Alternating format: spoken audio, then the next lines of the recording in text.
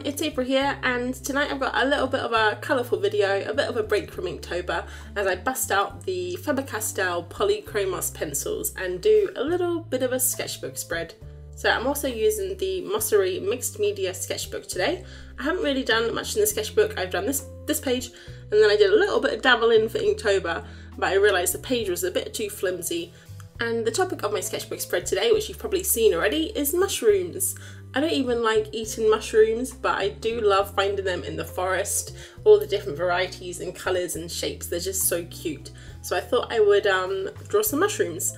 Now I have drawn mushrooms in the past, they never really ended up that well, so I didn't, I don't really know how this was going to turn out, but I decided to dig into my pencils, my coloured pencils, and try to use coloured pencils as they were intended to for colouring, because normally I just use my coloured pencils for sketching. And I follow a lot of people online that do amazing things with coloured pencils and I'm always a little bit envious. So I thought I would uh, try it. So these first few mushrooms here, I kind of tried to colour in as I thought you're meant to use the coloured pencils. And I wasn't really looking at the reference, I was kind of more of trying to focus on how to make the pencils work. And I was really, really unhappy with how these first few uh, mushrooms turned out. So unhappy in fact that I actually was just going to leave this page. I was going to leave the idea of drawing mushrooms and I was going to give up for the day. Uh, this was Sunday evening when I was uh, drawing in my sketchbook. But I thought, I've been out on this walk, I've got all this like footage and photos and I really, really wanted to draw them.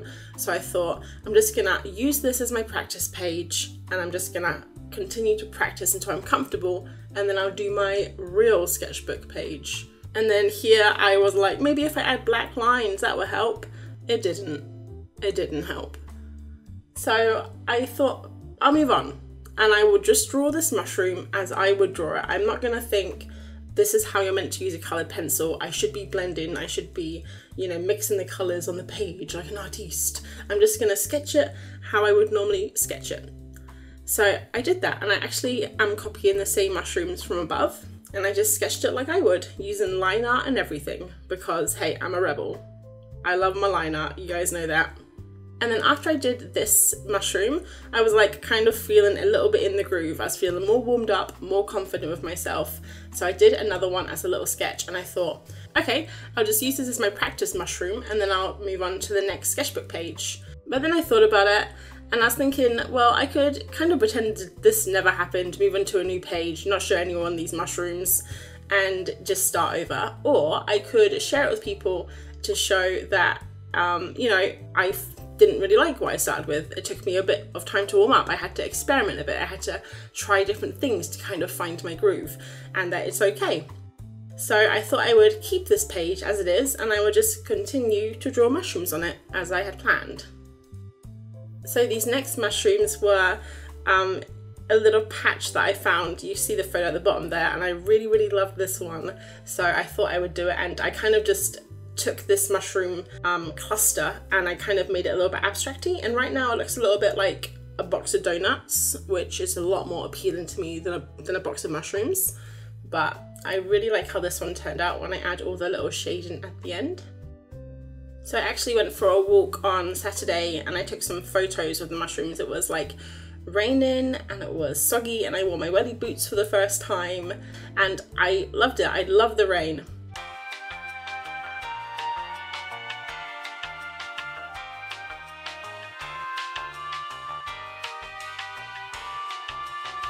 What was I saying?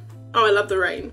Uh, cow interlude there. Um, so where I go for a walk is like a nature reserve near my house. It's about a mile away from my house, and I go there in the summer, in the winter, in every every time of the year. I absolutely love it there. Doesn't matter. I can go there every week, every day, and I wouldn't get bored of it. And sometimes they graze the cows over there, and the cows are quite big. And I have heard stories about them chasing people before, but um, I'm always like, I come in peace, I'm just here to say hi, and I've never had any problems with them. So um, so I, yeah, I went on Saturday and I took some photos and then I was going to sketch this in my sketchbook and I was thinking it would be so nice if I had gotten some footage of the mushrooms or some like b-roll of the forest. So I dragged Martin back to the forest again on Sunday and we traipsed around again in the rain just so I could get some footage, which was really fun. I love going for walks, so I'm never going to turn down a good walk. So back to the sketch. These are little mushrooms here that I'm drawing. I was definitely like super fully warmed up at this point. I was really getting into it. I was uh, watching lots of YouTube at the time and I was just having a lot of fun. So this sketch here that you're seeing me do actually turned out to be my absolute favourite and the only problems that I had were finding the right colours for the log. And you would think in a box of 96 coloured pencils I'd be able to find the right colour but I spent ages trying to find the right colour for the log and I couldn't so in the end I just kind of put a whole bunch of colours in there and I think it looks really fun. It's like really energetic. It's a little bit all over the place, but I think that's what I like about it. And my favourite part of doing these little sketches were adding in all the little bits of um, grass. Like I love doing that kind of stuff. So yeah, this was my definitely my favourite sketch and I thought from this one here I was ready to do the one I've been wanting to do since I saw them. These mushrooms were amazing. Um, we found them in a log and they were like the perfect cluster of mushrooms, like so picturesque. You can just imagine a family of fairies like living within them. So I was kind of keeping these till last, so I was ready for them. And uh, I just kind of went for it, and I was just having fun at this point. I wasn't even really looking at the reference, just kind of for um, a little bit to help me with the lighting, kind of where the darks go and the lights and different colours. These ones are a little bit more on the pink side than the orange side, so that was cool. But I just thought I had to have a little break from Inktober. I'm definitely still enjoying it. I'm still going and I will have a video out um, on Thursday with all of my Inktober pieces up till now. So make sure you check back for that one if you want to find out what's happening with Belle and her story. But I just thought I would break it up a little bit. Um, my subscription box is full of Inktober stuff and I love watching it, but sometimes you just need a little bit of colour and a whole month of black and white is uh, it's not good enough for me because I love my colour. And like I mentioned, I'm using the Mossery sketchbook and this is the mixed media sketchbook so the pages are a little bit thinner than the watercolour one and it's got a super amount of texture the texture takes a little bit to get used to because my last sketchbook was a little bit smoother, but for this pencil texture, it works really well. So when we did our little walk, the one mushroom that I was looking for was this one here. Um, this kind of mushroom. It's actually a toadstool, I think, and I only found broken ones or like little ones, and then I found this one. It was just popped out it was in the middle of nowhere and it was absolutely perfect. Now i'm not quite sure what these mushrooms are called. Sorry toadstools are called. But i always think of them as like i just call them fairy mushrooms because every time i see them i can just imagine a little fairy sitting on them.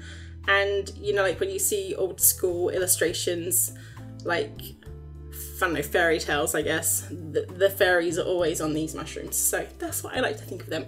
And I just had to kind of finish the page off with this one. It is the only mushroom on the page that is this colour. Every other mushroom is kind of like orange, but I think it deserves to pop out because it's pretty spectacular toadstool.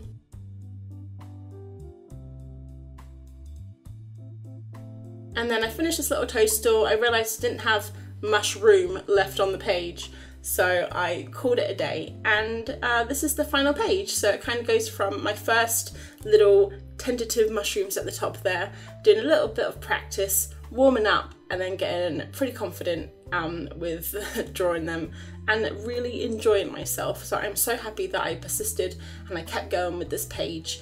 And if you guys ever struggle getting started just keep going and maybe something amazing will come out of it. So I hope you guys enjoyed that little walk with me through the woods and I will check you on the next video. Thanks for watching. Bye.